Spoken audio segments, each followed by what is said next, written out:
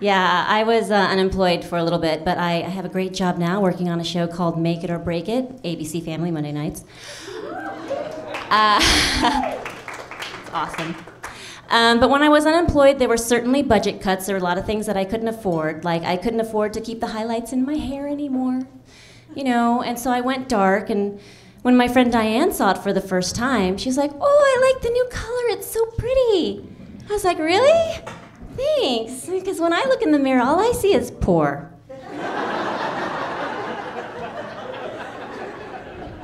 My hair is like a financial status mood ring. When it's black, I'm in the black. When you see highlights of gold, lunch is on me. Sad, because I think my hair is actually darker since the last time I told that joke. Hmm. Oh, yeah. I'm sure you've seen it. The economy's pretty bad. You've seen the news, right? The Battlestar Galactica convention was canceled?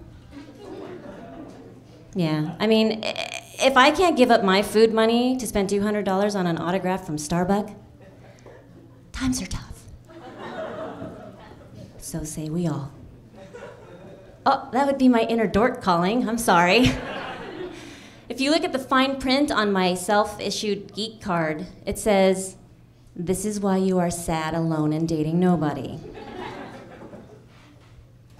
Uh, but yeah, to save some money, I definitely got one of those uh, noise making money savers for the apartment. I'm sure you guys all familiar with the roommate. yeah, she's great. She's a beautiful lingerie model. It's awesome. If, uh, if I ever wanted to learn about myself, it's definitely having a roommate.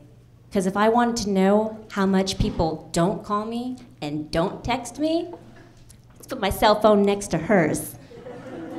Goes off constantly. I mean, like beep, beep, beep, text, text, text, beep, beep, beep, text, text. And I'm like, oh, here's my phone. That's odd. I seem to have enough bars. Is there a reset button for this? No? Hmm.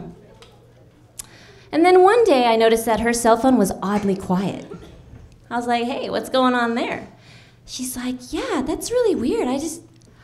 Oh, my cell phone was accidentally set to silent. Yours must have been too.